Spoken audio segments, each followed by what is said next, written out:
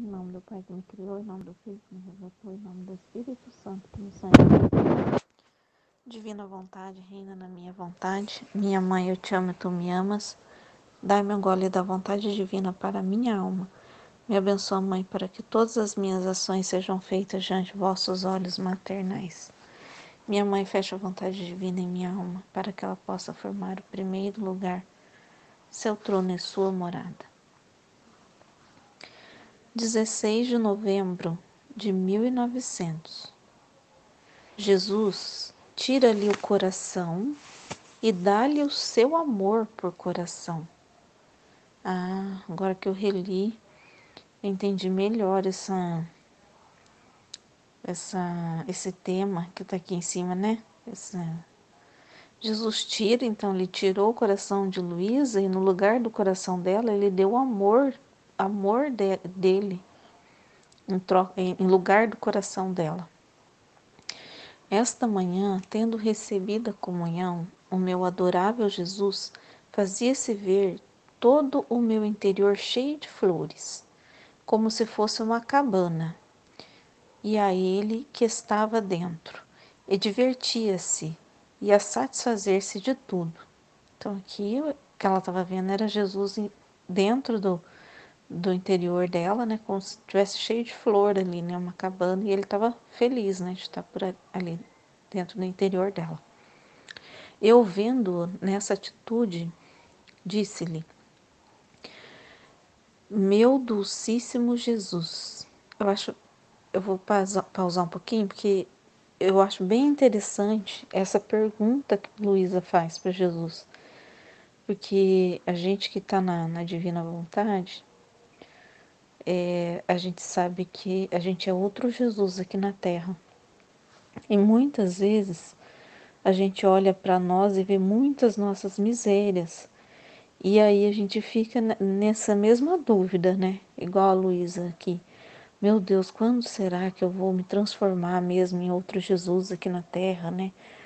É, e aí ela fez essa pergunta, eu, eu me vi tantas vezes fazendo essa mesma pergunta, né? Meu Dulcíssimo Jesus, quando tomará este meu coração para uniformizá-lo todo ao teu, de modo que possa viver da vida do teu coração? Então, ela, ela quer ser transformada toda em Jesus, né? E viver do coração de Jesus. É o nosso desejo também, né? O desejo dela é o mesmo nosso, né? Então, é, e aqui Jesus ele mostra para ela, né? Uma lição aqui para a gente prestar bastante atenção. Enquanto dizia isto, meu sumo e único bem tomou uma lança e me abriu a parte que corresponde ao meu coração. Depois, com suas mãos, o tirou e olhava tudo para ver se estava despojado e tinha as qualidades para poder estar em meu Santíssimo Coração. Então aqui é, eu lembrei muito da, de Jesus, né, na, na cruz, porque ele aqui ele pegou uma lança e foi lá e ficou bem no coração da Luísa.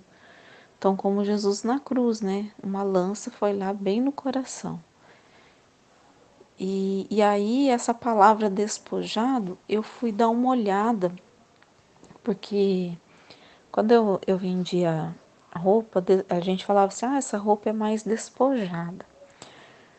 Mas eu nunca fui ver o, o significado de despojado de verdade, porque para mim, despojado era tipo uma roupa mais confortável, mais menos informal, né? Uma roupa mais do dia a dia, assim, mais confortável, né? Seria, né?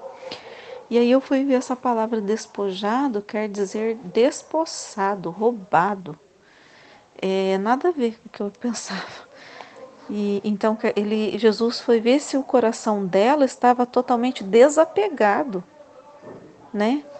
Então é, é isso que eu entendi aqui, né? Que se ele ver se ele estava despossado, né? Que despojado quer dizer despossado, é, desapegado, sabe? Que, que, que foi roubado, alguma coisa assim. É, esperei que eu perdi um pouquinho onde eu estava aqui. É, também eu o olhei e, com minha surpresa, vi impressa em uma parte a cruz, a esponja e a coroa de espinhos. Mas querendo vê-lo pela outra parte e por dentro, porque parecia inchado como se pudesse abrir-se, meu amado Jesus me impediu, dizendo. Então aqui também, olha, Jesus pegou com uma lança, abriu, né? Pegou o coração dela com uma lança. Aí dentro do coração dela estava impresso a cruz, a esponja aqui, eu entendo que é aquela esponja, né, que foi dado para Jesus, que ele estava com sede, foi recolocado uma esponja com, com vinagre, né? E então ele tinha e, e a coroa de espinho de Jesus, então era um coração crucificado, né? Eu acho que, que acho que era é isso, né? Que continha estava é, crucificado com Jesus, né? Então isso que eu entendi assim com essas com essas coisas que ela viu, né? E, e aí ela viu que também o coração dela estava inchado né? Ele tá de uma parte que estava inchada e é, deixa eu ver o que é mais querendo vê-lo pela outra parte, a outra parte por dentro. Então, por dentro, ela não viu uma parte da outra parte do coração e viu também que o coração estava inchado. E aí Jesus não deixou ela ver. Daí ele, ele falou para ela assim: Quero mortificar-te, não deixando-te ver tudo o que derramei neste coração.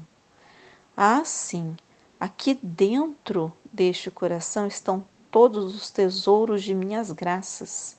Então o coração dela estava inchado de tesouros de minhas graças, que a humana natureza pode chegar a conter. Então Jesus não mostrou para ela as graças, né? Porque ele encheu, o coração dela estava inchado de graças né, as graças que Jesus colocou dentro do coração dela. Naquele momento, encerrou-o em seu santíssimo coração, acrescentando: Teu coração tomou posse em meu coração, e eu, por coração, te dou amor. Então, ele pegou o coração dela e colocou dentro do coração dele. E, e eu, por coração, então, pelo coração dela que ele tomou posse, ele deu para ela o amor, né, que te dará a vida. Então, ele pegou o coração dela para ele, colocou em posse do coração dele e falou para ela: agora no lugar do seu coração, eu vou pôr amor aí. Nesse lugar do seu coração, eu vou te pôr amor. E aproximando-se daquela parte, mandou três suspiros, contendo luz que tomavam lugar do coração. Então, daí ele foi lá, deu três suspiros. Acredito que pode ser um sopro, né? Tipo três sopros no coração da Luísa. E, e, nesse e aí que continha luz. Eu não sei, fiquei pensando aqui três suspiros, né? Mas será que não sei se é Santíssima Trindade, né? Passou isso na minha cabeça agora, né? Encheu ela de, de amor, né? Pai, Filho, Espírito Santo, não sei. Passou isso, não tá dizendo isso, não sei se, se é isso, mas passou isso agora na, na minha mente. Que tomavam o lugar do coração e depois fechou a ferida. Então Jesus foi lá, colocou, pôs três suspiros no lugar do coração dela, porque o coração dela estava em posse dele né? E ele falou para ela que ia trocar o coração dela pelo amor, né? Pelo amor dele, que ele ia colocar no lugar do coração dela o amor dele, né?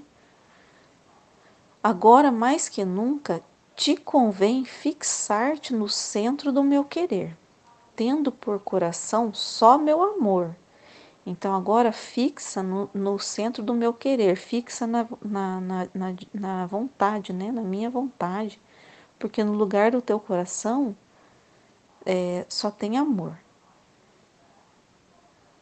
Nem sequer por um só instante deve sair dele. E meu amor só encontrará em ti o seu verdadeiro alimento? Se encontrar em ti em tudo e por tudo a minha vontade. Então, o que alimenta o amor de Jesus é a própria vontade dele, né? Que é a divina vontade. Então, o que, que vai alimentar? Qual que é o alimento do amor dentro do, né? Vamos lá, do coração, né? Que seria no lugar do coração. Jesus colocou o amor dele. E o que alimenta o amor dele é o divino querer, que é a divina vontade. É só a sua vontade que alimenta o amor. Então, por isso que ele falou: fica fixa aí, presta bastante atenção no divino querer, não saia dele, porque é só ele que vai alimentar esse amor que eu coloquei dentro do seu peito, no lugar do seu coração. Né? Então, no lugar do seu coração, né, de carne, né, que é nosso coração, ele tirou, deixou em posse dele, está lá com ele, e nesse lugar ele colocou o amor dele, né? Então, é, aí ele fala aqui, ó, nela encontrará sua satisfação e a verdadeira e fiel correspondência. Então, só na divina vontade, que a gente fixa na divina vontade, né? É, em viver na divina vontade, não querer sair, que vai ser a correspondência desse amor e que vai alimentar esse amor, né? E alimentando o amor, cada vez mais vai, tá, vai crescer, né? O amor vai crescer porque ele vai ser sempre alimentado. E aproximando-se da boca, mandou-me mais três suspiros, e ao mesmo tempo derramou um doce licor que me embriagava. Então, como levado por entusiasmo, dizia: Olha, teu coração está no meu, assim que não é mais teu. E me beijava e me voltava a beijar, e me fazia mil finezas de amor. Mas quem pode, pode dizê-las todas? Parece-me impossível manifestá-las. Quem pode dizer o que sentia ao encontrar-me em mim mesma? Só sei dizer que me sentia como se não fosse mais eu. Só sei dizer que não me sentia como se fosse mais eu, sem paixões, sem inclinações, sem desejos, toda abismada em Deus. Na parte do coração, senti um frio sensível em comparação com as outras partes. Então ela não, ela não sentia mais que era ela, né? Então aquela sentia, ela estava sem paixões, sem inclinações, sem desejos. Então Jesus pegou o coração dela, pegou, tomou posse, né? Foi roubado, né? Que é o despojado lá em cima. Eu fui ver o significado, quer dizer roubado, é, né? Pego, né? Foi é, é, ela foi desapossada do coração dela. Ela foi desapossada do coração dela. Então Jesus se apossou do coração dela, colocou no coração dele, né? Ficou em posse, tá, ficou junto com ele, soprou dentro dela, no lugar do coração dela, o amor dele, né? E com esse amor dele que é alimentado pela divina vontade, ela ficou. O é, é, que, que, vai, que, que vai acontecer com a gente? A gente vai ficar sem paixões, sem inclinações, sem desejos, toda abismada em Deus. Aí esse abismado eu também preciso ver o significado, mas deve estar tá, é, toda abismada. Eu vou ter que ver o significado, mas deve estar tá mais toda em Deus, né? Alguma coisa desse tipo, né? Na parte do coração senti um frio sensível em comparação com as outras partes.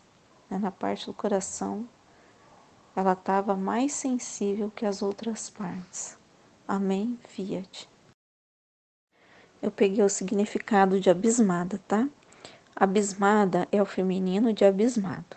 O mesmo que surpresa, perplexa, absorta, então absolvida, admirada, boquiaberta, espantada, estupef estupefacta, pasmada, surpreendida. Então ela estava toda absorvida em Deus, é, admirada, espantada, pasmada, surpreendida. Né? Então ela estava toda em Deus. Né? Peguei para a gente ver o significado da palavra. Amém? Fiat.